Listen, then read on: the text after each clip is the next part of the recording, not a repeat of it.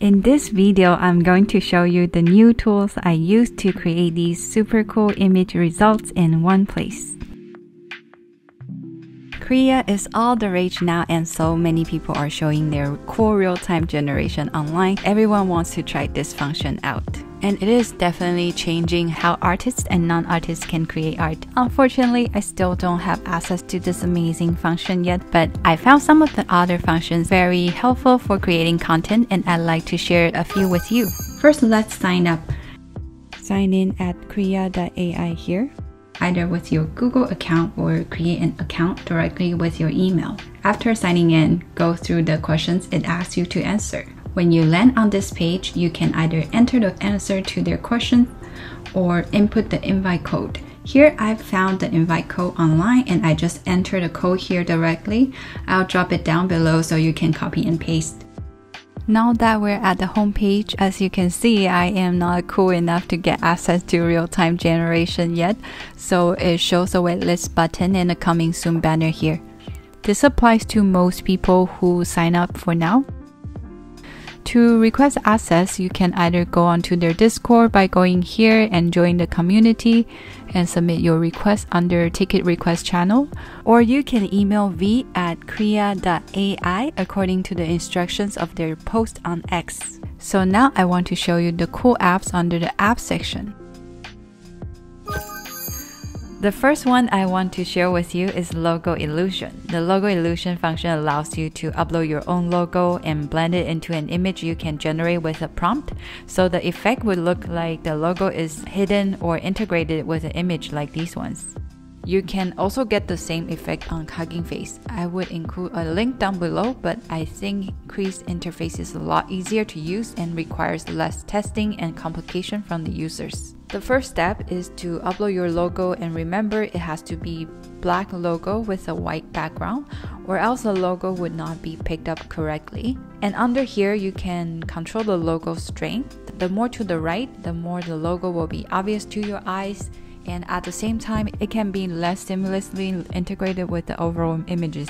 I personally prefer the effect to be between 65% to 75%. If it's too much, then the image get twisted, but if it's too little, then the logo would not be obvious to the eyes. But you can adjust it to fit your likings and needs. And here you can enter your prompt. It has a random prompt generator here, and you can click for the AI to randomly generate some ideas for you or you can also click the prompt manager arrow icon here to see some examples Krea has already generated for you with their own logo. If you want to apply the same prompt, simply click on the icons and the prompt will get populated into the prompt box like this. Okay, let's try this one with the logo I just created. While we are waiting, if you like this video, please like and subscribe. It will really help me to create more content like this in the future.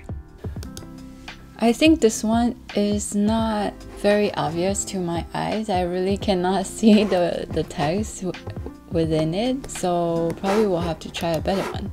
Let's turn it up to maybe 80%. Let's try 85% and see with the same prompt how it would look.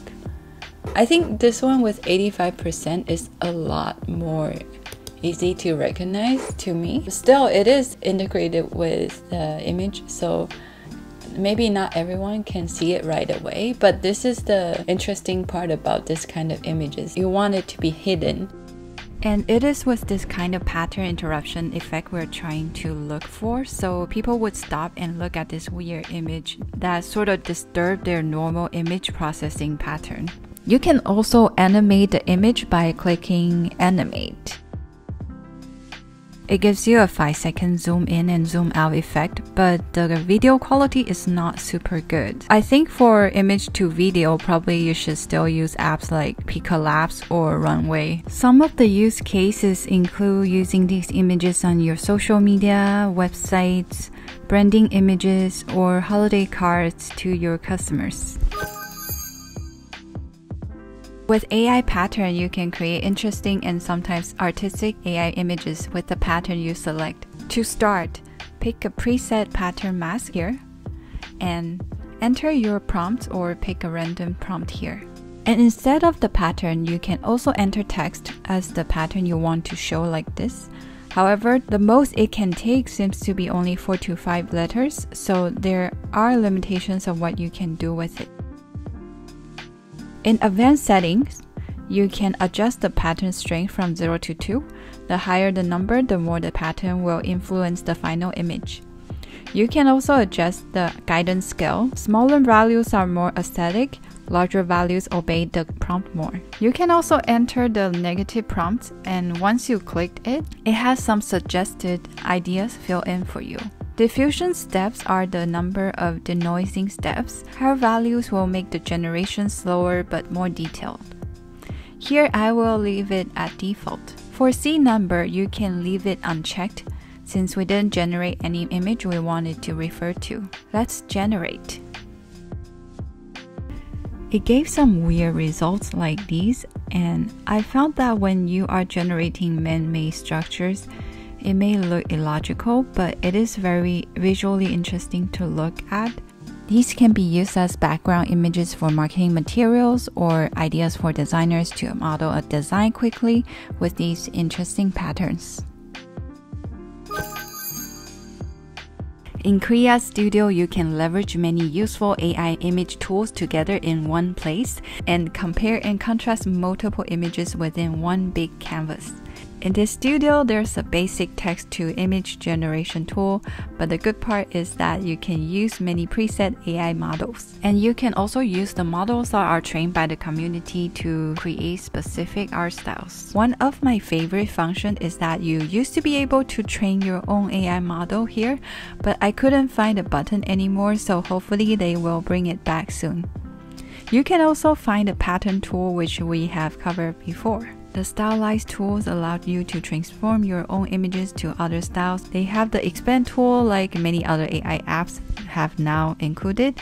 You can expand your images with prompts to four directions, but the downside of this one is that you cannot assign how big the image should be nor the dimensions of the images. They also have a face swap tool. Here I I tried to swap out a Midjourney image with Beyonce's face.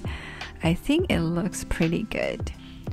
The recolor tool can help you recolor your images to different sets of preset colors, but the result is not just recoloring, it is also changing some of the details of the images as well because it actually uses the image you assign as reference and create a new version of it with the color you choose. But sometimes you can also get good results with simpler illustration style images. Most of these tools you can also find in popular apps like Canva, Midjourney, Leonardo, or Discord apps.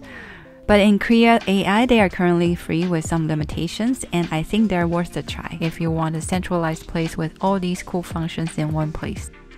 That's it for today. Feel free to share your thoughts in the comment below. I'd love to hear from you. I hope you found what I shared today helpful.